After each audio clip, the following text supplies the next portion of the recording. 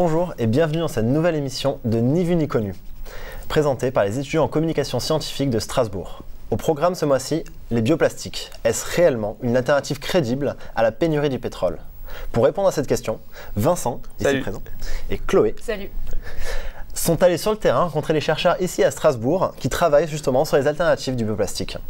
Nous allons d'abord voir le reportage qu'ils ont réalisé, puis euh, nous allons en faire un léger débriefing et finalement regarder la vidéo de la semaine. Tout de suite, le reportage. Bonjour, aujourd'hui on est au CNRS de Cronenbourg et on va visiter les labos de l'ICPES, l'Institut de chimie pour l'énergie, l'environnement et la santé.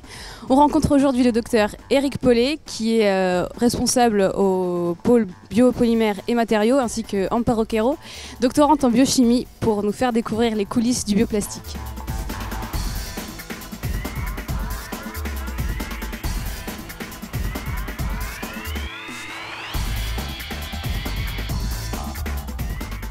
Bonjour et merci de nous accueillir euh, au sein de votre laboratoire. Bonjour, c'est un plaisir. Euh, première question, je voudrais savoir finalement, euh, on entend beaucoup de parler de bioplastique, mais qu'est-ce que c'est au final? Alors, qu'est-ce qu'un bioplastique?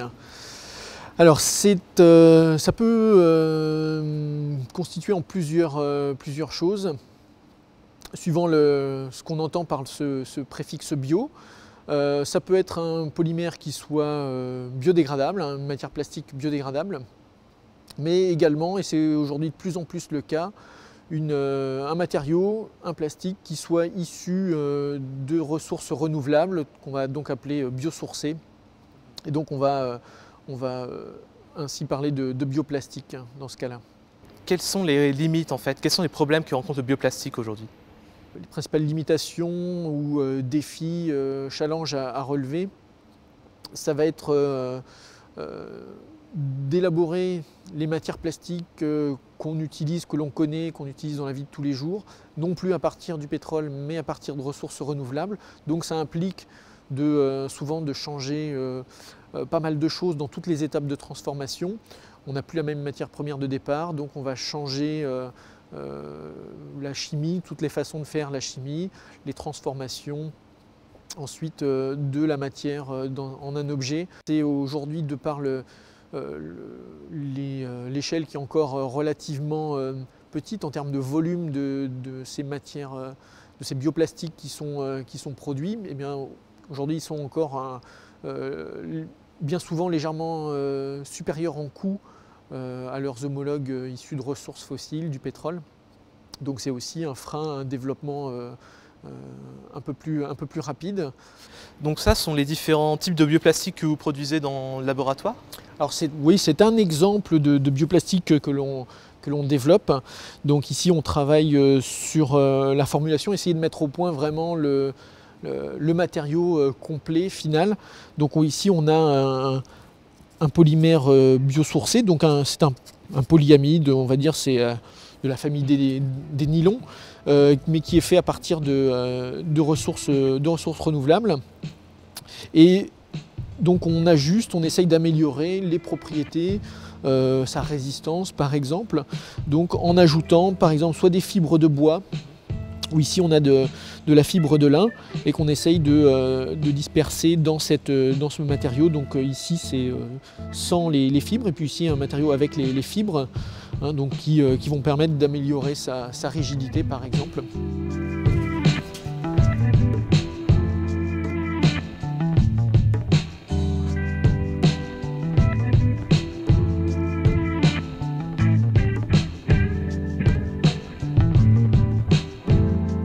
Bonjour, Amparo Jiménez Quero.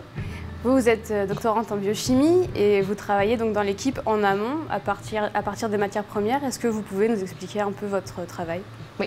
Mon sujet de recherche, c'est la bioproduction à partir des déchets végétaux, des, une molécule qui est intéressante pour polymériser et arriver à faire des bioplas- bioplastiques. Donc euh, j'utilise ces déchets végétaux qui viennent de, de- de l'agriculture des zone de l'Alsace et qu'on fait fermen- fermenter à par, par des micro-organismes pour euh, produire ces, ces molécules, ces symptômes qu'on va polymériser. D'accord, et donc vous, vous travaillez à partir de déchets végétaux. Euh, D'où proviennent-ils ces déchets? Euh, où est-ce que vous les récupérez? Bah, notre groupe, il, il a des différents partenariats avec des, des usines euh, industrielles d'Alsace. Et il nous provient de, de ces déchets qui, s- qui pourraient être des sondes de blé, des rafles de maïs ou des bagages euh, en canne à sucre. Écoutez, merci beaucoup.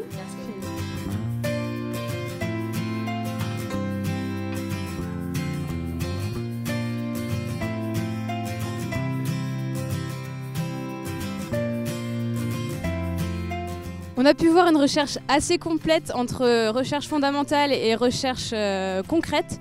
Entre laboratoire et machine de plasturgie, le bioplastique est une matière qu'on retrouve un peu partout autour de nous, mais qui reste pourtant assez inconnue.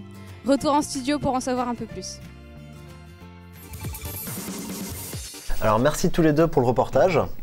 Alors Chloé, est-ce que tu peux nous en dire un peu plus sur la fabrication du bioplastique? Ouais, en fait, c'est c'est un phénomène naturel qui s'utilise, qui se produit euh, dans la nature. En fait, il donne euh, donc euh, des céréales, des végétaux à des micro-organismes, qui peuvent être euh, des bactéries, des champignons. Et eux, en fait, ils vont transformer ces sucres en acide organique, en acide lactique par exemple. Et c'est ça qui va être utilisé après pour la fabrication de bioplastique. Alors là, la difficulté, c'est que des fois, ces micro-organismes produisent les produits chimiques dans leur corps, entre guillemets, donc ça va être assez compliqué de les récupérer. Il va falloir faire plusieurs filtrations, donc c'est assez long, c'est assez compliqué. Et c'est en partie pour ça que euh, les bioplastiques euh, ne se produisent pas euh, à très très grande échelle. D'accord, donc c'est à base de céréales en fait. Ouais, c'est ça. Donc là, on voit tout de suite hein, un petit problème. C'est comme pour les biocarburants, en fait, c'est que ça concurrence euh, l'alimentaire. Au lieu de produire des céréales pour les manger, on va les donner euh, aux micro-organismes qui, eux, oui, vont se régaler et qui vont euh, produire du bioplastique. Même indirectement, on sait faire des bioplastiques à partir de céréales que nous, on va pas forcément manger, le ricin par exemple. Mais c'est pareil, ça va euh, prendre de- des terrains agricoles qui pourraient être utilisés pour l'alimentaire. D'accord, mais du coup en fait on déplace le problème. On arrête de faire du plastique parce qu'on n'a plus de pétrole et maintenant quand on va faire du bioplastique, on n'aura plus à manger. Ouais, c'est pas faux. Bon, heureusement, il y a euh, plusieurs équipes qui travaillent, donc comme euh, sur le labo qu'on est allé visiter, qui travaillent à partir de déchets végétaux. Donc là, ce serait vraiment euh, la solution miracle, en fait, donner des déchets végétaux aux micro-organismes pour qu'ils puissent les dégrader et produire ces mêmes produits chimiques. Euh, donc là, la difficulté, ce- c'est plutôt de récupérer les déchets. Même s'ils ont des partenariats avec des entreprises pour récupérer euh, directement, par exemple, le son de blé, euh, si on commence à prendre d'autres déchets, le tri est assez difficile. D'accord, ah, ça a l'air cool ça. Et donc, Du coup, ouais. ouais, ce serait en fait, euh, à partir des déchets, ce serait vraiment la solution à creuser euh, pour l'avenir. D'accord, la solution verte réellement Ouais. quoi. D'accord, donc il y a vraiment de l'avenir dans le, dans le domaine quoi. D'accord. Ouais. Plus d'avenir que dans la communication scientifique quoi. Peut-être. Écoute, si tu veux t'y mettre, on a trouvé une petite vidéo, un petit tuto comment faire chez vous votre propre bioplastique. Donc vous pouvez essayer aussi.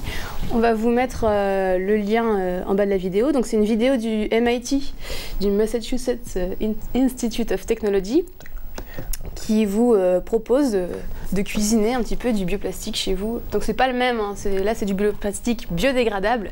D'accord. Euh, si vous voulez vous éclater un petit peu, euh, voilà, oui, vous avec pouvez des- tous les ingrédients, de la patate. euh. D'accord. Donc tu peux t'entraîner si tu veux. Ah c'est cool, je vais faire ça en rentrant. Euh, Vincent, est-ce que tu peux nous dire où est-ce que euh, on peut trouver justement du bioplastique? Bah en fait, on en trouve à peu près partout maintenant. hein. Quand tu vas faire tes courses, que tu achètes à boire ou à manger, bah en fait, les, les emballages sont pour la plupart composés de bioplastique. Et c'est pas forcément simple de faire la différence entre une bouteille en bioplastique et une euh, bouteille en plastique euh, traditionnel en quelque sorte. Et ça, il n'y a, pas- y a pas que dans ce. Enfin, tu en trouves aussi dans des matériaux que- un peu plus sophistiqués en quelque sorte. Par exemple, dans les voitures, certains accessoires automobiles sont constitués de bioplastique. D'accord, même dans les voitures. Ouais, bah, en 1941, attends, je vais te montrer ça en image. Euh, Il y a la Ford, il y a la Ford, la C, euh, la, la soybean car qui a été conçue. Et en fait, son armature est entièrement en graines de soja et de. Donc c'est quand même, euh, tu roulais vraiment dans une voiture végétale, quoi. D'accord, et ça marchait. Hein. Ça marchait tout. En tout cas, ça roulait, mais bon, faut se dire, que- ouais, voilà. Ouais, à l'époque, oui. D'accord. Et euh, pourquoi, du coup, si on savait déjà le faire à l'époque, pourquoi on s'y remet que maintenant, quoi?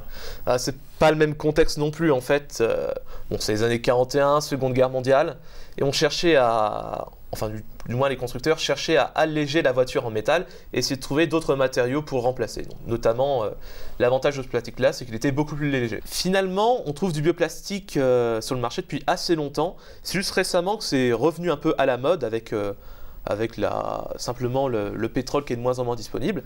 Et c'est devenu au cours du temps un argument, un argument de vente pour certains produits.